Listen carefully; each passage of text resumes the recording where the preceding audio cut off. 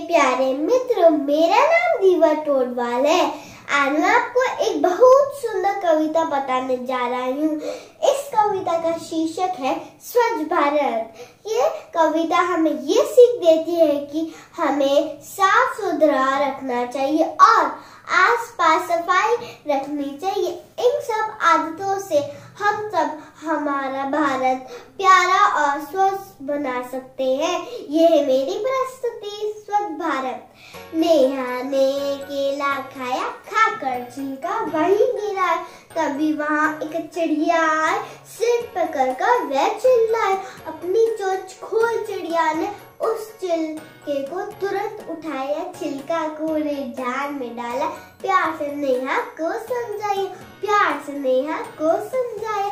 बोली, चिड़िया ठीक नहीं है, सड़क पर यू कूड़ा फैलाना।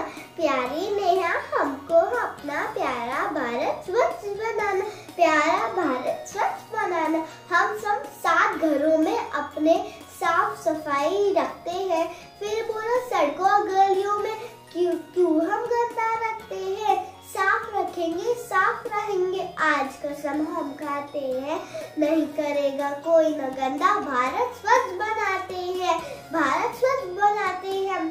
जय हिंद, जय भारत। धन्यवाद। अगर आपको मेरे कविता पसंद आई होगी प्लीज़ लाइक सब्सक्राइब और बेल आइकन ज़रूरी सी प्रेस करना। धन्यवाद, वापस।